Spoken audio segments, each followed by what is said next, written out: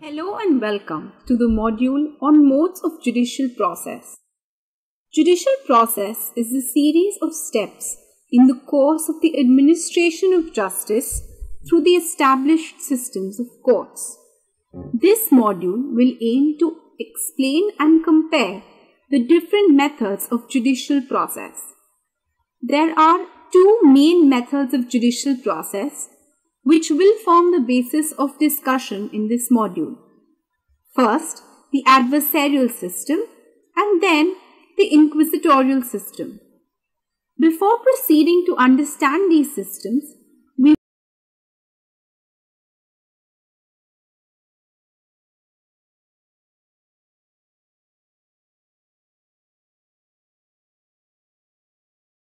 will first look at the difference between common law countries and civil law countries. In common law countries, principles of law developed through cases are given a lot of importance. Thus, judges play a crucial role in shaping the law and several areas of law are not codified. Consistency in the law is maintained by the doctrine of judicial precedent, whereby decisions of a higher court are binding on lower courts. An example of a common law country is the United Kingdom, which, keeping with the common law tradition, functions without a written constitution. This can be contrasted with the functioning of civil law countries. In civil law countries, there is not much reliance on judicial precedent.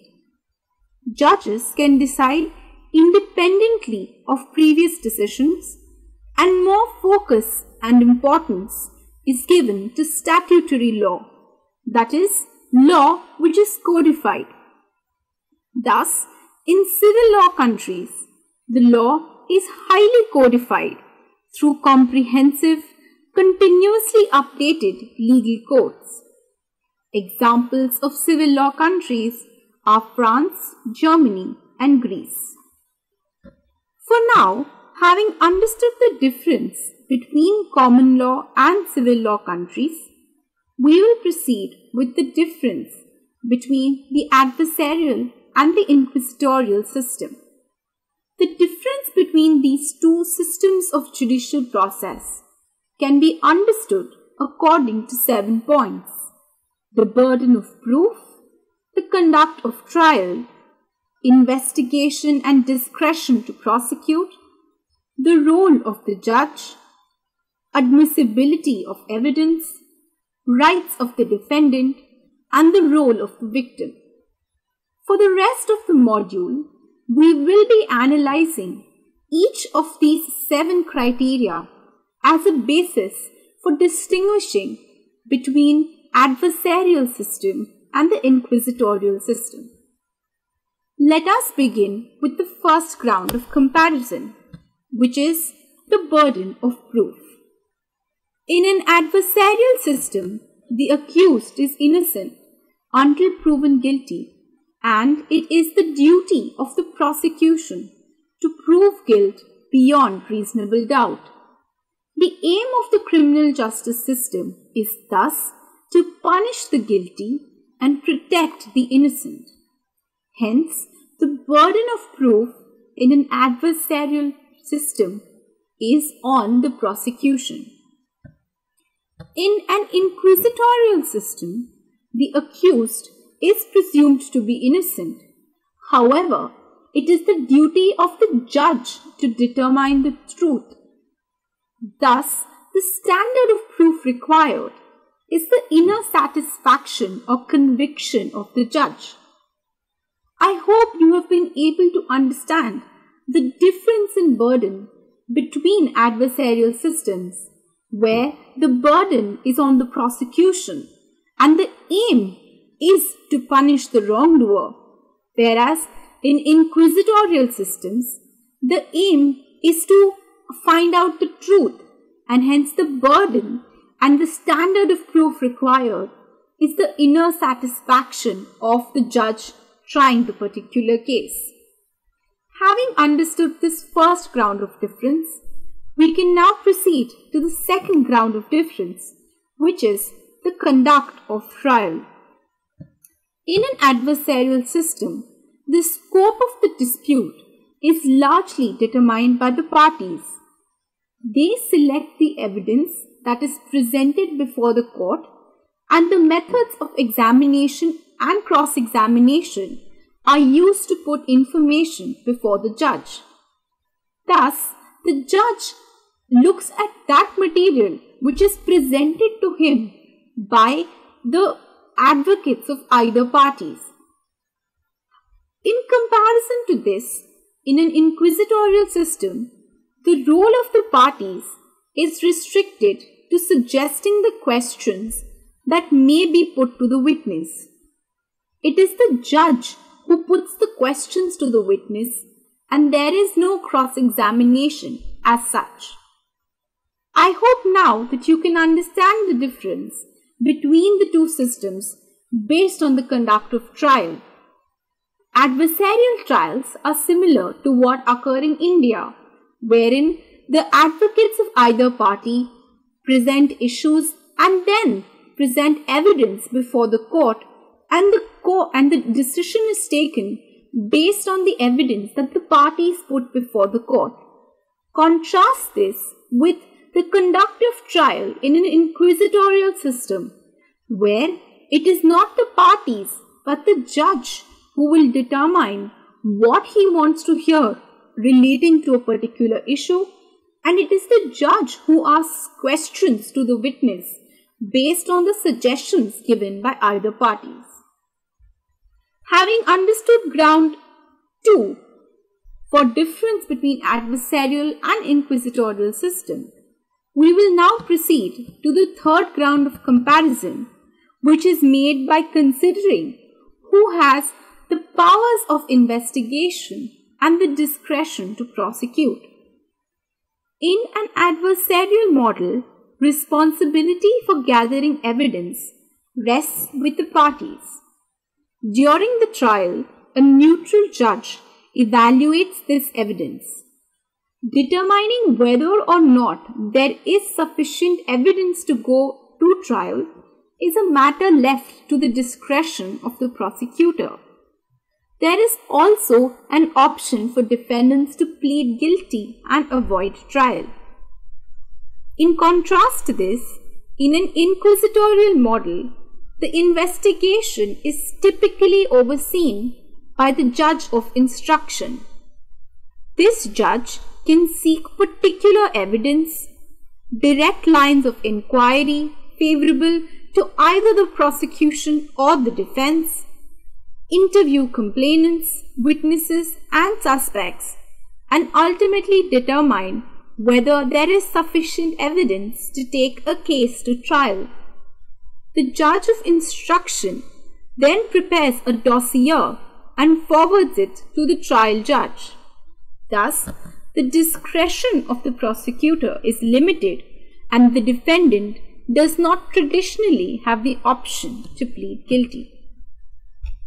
I hope you have understood this ground of difference with regard to the power of investigation and the discretion to prosecute, while in adversarial systems, this power is predominantly with the prosecutor who decides based on the evidence whether there is a sufficient ground to proceed with trial.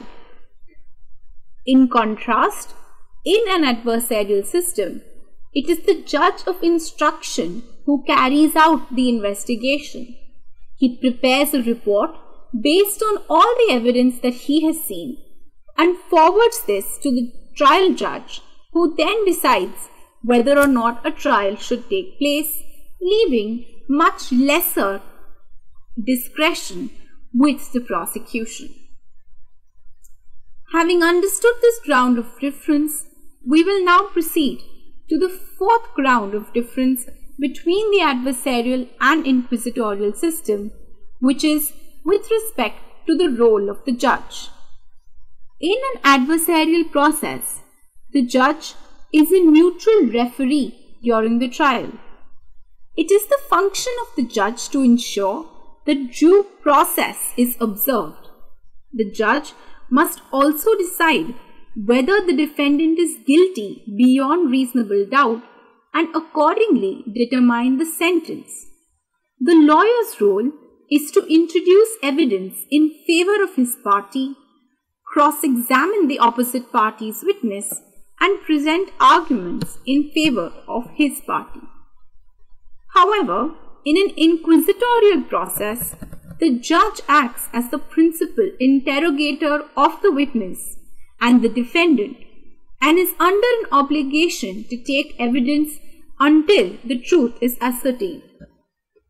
I think looking at this particular difference regarding the role of the judge would require us to go back to the first difference between adversarial systems and the inquisitorial system, which is with regard to the aim of that particular system. Because in an adversarial system, the aim is to punish the wrongdoer, the judge has a role in the adversarial system to decide whether the standard of proof beyond reasonable doubt has been met. In contrast to this, the aim of the inquisitorial system being to find out the truth, the judge is the person who has the power in an inquisitorial system to carry out the investigation, interrogate the witnesses, and ultimately determine whether the evidence is sufficient to understand what the truth is. Having understood this ground of difference, we can now proceed to the fifth ground of difference, which is with respect to the admissibility of evidence. In an adversarial system, evidence which is prejudicial or of little probative value is often likely to be withheld from juries as they are not well versed with the amount of importance that is to be given to such evidence. Hearsay evidence, which is a statement made by a person other than the witness, is usually admissible only if it is considered reliable. In contrast to this, in an inquisitorial system, the admissibility of evidence is dependent on the judge's evaluation of it being relevant. Thus, evidence is likely to be admitted regardless of its reliability or prejudicial nature as long as the judge deems it to be relevant. Let's take an example of hearsay evidence. Hearsay evidence, which is a statement made by a person other than a witness, will in most cases not be admissible in an adversarial trial because of the fact that it is not considered to be reliable to admit somebody else's account of a particular statement. However, in an inquisitorial system, hearsay evidence, which is considered unreliable in adversarial systems, would still be admitted in the inquisitorial system as long as the judge determines that listening to that particular hearsay statement is necessary for determining the truth. Having understood this ground of difference, we will now proceed to the sixth ground of difference, which is with respect to the rights of the defendant. In an adversarial system, the accused enjoys the right to silence and cannot be compelled to reply. The trial is oral, continuous, and confrontational. The parties use cross examination of witnesses to undermine the opposing case and to discover information that the other side has not brought out. In both inquisitorial and adversarial systems, the accused is granted the right to a fair trial and is protected from self incrimination. However, in an inquisitorial system, the defense has only a limited right of suggesting questions to the judge. It is left to the discretion of the judge whether to accept the suggestion or not. Based on the rights given to a defendant, it is possible to argue that the defendant has more rights in the adversarial system as opposed to the inquisitorial system. Having now understood the sixth ground of difference, we will now proceed to the seventh ground of difference with, re with regard to the role of the victim. In adversarial proceedings, victims are not a party to the proceedings. Parties are only part, it is the prosecutors who are appointed to act on behalf of the state and they do not specifically represent the victim. In an inquisitorial system, however, victims have a more formal role in the pre-trial investigative stage, including a recognized right to request particular lines of inquiry or to participate in interviews by the investigating authority. Some jurisdictions also allow the victim to be represented by a lawyer during the trial stage. Based on analysis of this particular difference, it can be argued that a victim is more likely to get compensation in an inquisitorial system as opposed to an adversarial system simply because the victim has more opportunity to be involved in the inquisitorial system as opposed to the adversarial system where prosecutors act on behalf of the state. This concludes the discussion on relation to the major differences between the adversarial system and the inquisitorial system. Having understood these differences, we can now look at the system followed in India. India follows a common law system. The Constitution of India incorporates the doctrine of binding precedent through Article 141 which states that the decisions of the Supreme Courts are binding on all lower courts. Hence, in consonance with common law tradition, decisions of higher courts are binding on lower courts in India and a lot of importance is given to judge-made law. While India does follow the adversarial system, there are several instances where the judicial process has incorporated inquisitorial elements. It is interesting to analyze what these elements are and accordingly question whether these inquisitorial elements make India's adversarial system more just.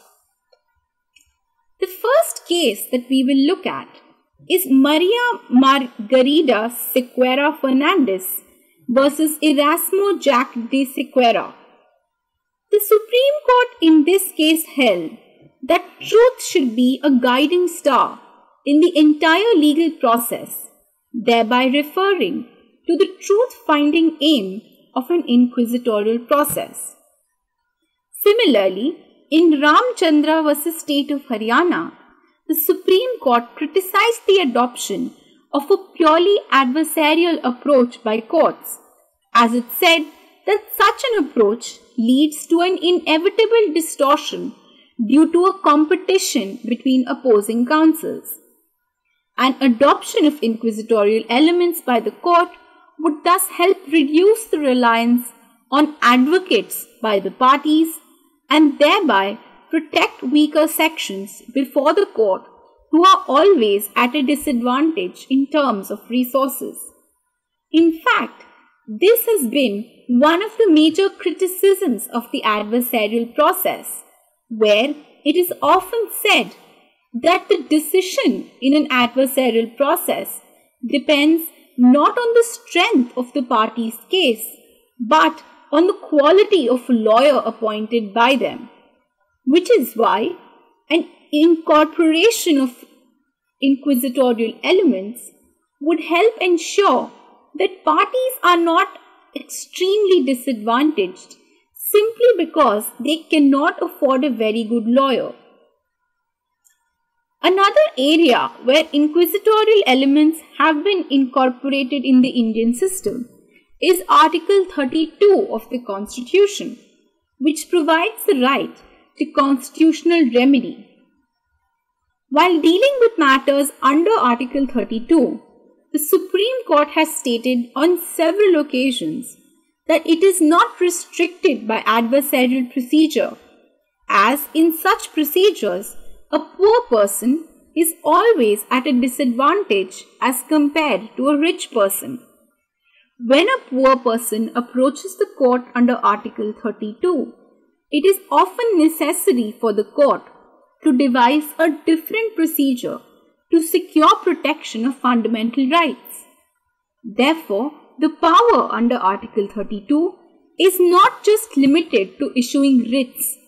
It is much wider and includes taking all such actions as are appropriate, even if this incorporates inquisitorial elements.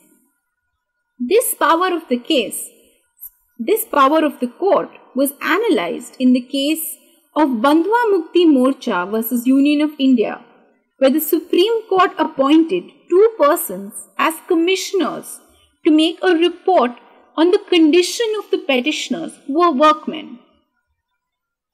Contrast this to what we discussed about the role of the judge in an inquisitorial system, where in the inquisitorial system, the judge does have a right to conduct an invest investigation. This is somewhat similar to what the Supreme Court did in the Bandhua Mukti Morcha case by appointing commissioners to conduct an investigation on the, on the position of the petitioners. The respondents in the Bandhua Mukti Morcha case argued that the report of the commissioners could not have evidentiary value as it was based on ex parte evidence that had not been subject to cross examination.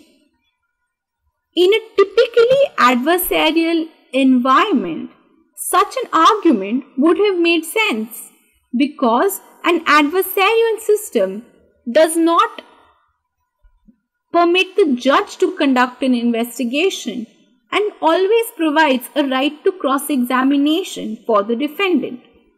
However, interestingly, the court rejected this argument of the respondent and held that the appointment of commissioners and the reliance on the report submitted by them was within the powers of the Supreme Court under Article 32.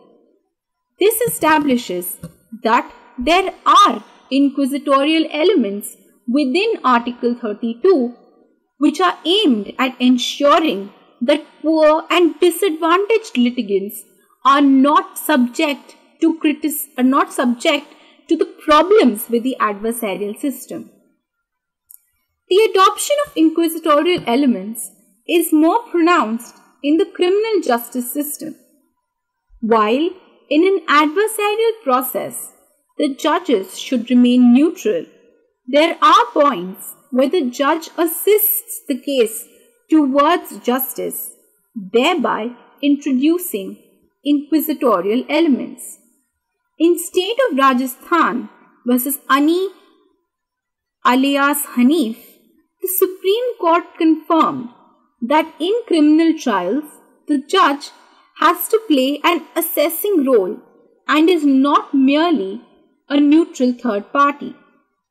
Further, in the case of Mohan Lal versus Union of India, the Supreme Court observed that such an assessing role is required to bring the best available evidence to the notice of the court and avoid issues of prosecutorial misconduct. Thus, in these cases, we see how the Supreme Court has said that it cannot be merely a neutral third party spectator and that it would have to intervene and direct a case towards justice as and when the need arises. Other similar criminal provisions also point towards incorporation of inquisitorial elements. For instance, the charge against an accused is framed by the judge and not the prosecution. Thus, the judge has the role of refining the prosecution's findings and determining the existence of a prima facie case. These powers are given to the judge and magistrate under sections 228 and 240 of the Code of Criminal Procedure respectively. Section 165 of the Indian Evidence Act also incorporates inquisitorial elements by enabling the court to ask a witness any questions in any form at any time and in order and to order the production of a document or a thing. The judge also has the power to examine any person as a witness even if he has not been called by the parties under section 311 of the Code of Criminal Procedure. Further, under section 313 of the Code of Criminal Procedure, the judge can examine the accused at any time to get an explanation. The prosecutor too has to take permission of the court before withdrawing a case under section 321 of the Code of Criminal Procedure. These provisions of the Code of Criminal Procedure direct us to the understanding that at several points during a criminal trial, such as examination of witnesses, production of documents, or withdrawal of a case by the prosecution, the court actually follows a slightly inquisitorial pattern in what is otherwise an adversarial system in order to ensure better protection of the rights of both parties. Another example of an inquisitorial system can be seen in the residuary powers of the High Court under section 482 of the Code of Criminal Procedure. This power states that nothing in the court, nothing in the code shall be deemed to limit or affect the inherent powers of the High Court to make such orders as may be necessary to give effect to any order under the court or to prevent the abuse of process of any court order or to otherwise secure the ends of justice. A similar power is given to civil courts under section 151 of the civil of the code of civil procedure. We thus see that the inherent powers of the court allow it to introduce inquisitorial elements which would not otherwise be present in an adversarial system if such elements are required to fulfill the ends of justice. The Justice Malimat Committee report on reforms of the criminal justice system discussed the merits and demerits of adopting an ad inquisitorial process in India. The committee noted that the benefits of an adversarial system in criminal trials is that the rights of the accused are better protected, ensuring a fairer trial. However, the committee felt that certain inquisitorial elements should be included in the judicial process to make it more effective. It seems that presently India's judicial system is in line with what the Justice Malimat Committee report suggested, wherein it is predominantly adversarial, but at several points there are inquisitorial elements that have been incorporated to better protect the rights of the parties. Throughout the module, it is important to understand that while understanding the differences between common law and civil law countries and the differences between the adversarial and inquisitorial system. The comparison has been made on a general and conceptual level so that it's easy to understand what the difference is rather than focus on specific procedural aspects.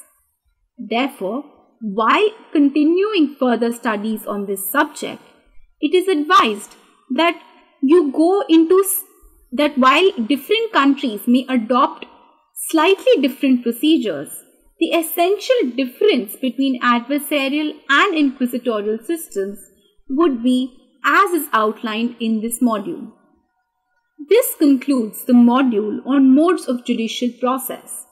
I hope you have understood the differences between these two processes and then can go on to analyze what sort of process India follows and probably even suggest how India could make its judicial process more effective by incorporating either more adversarial or inquisitorial elements.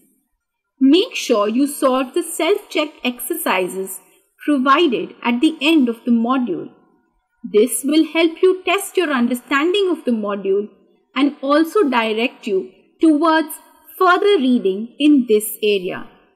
Thank you for listening.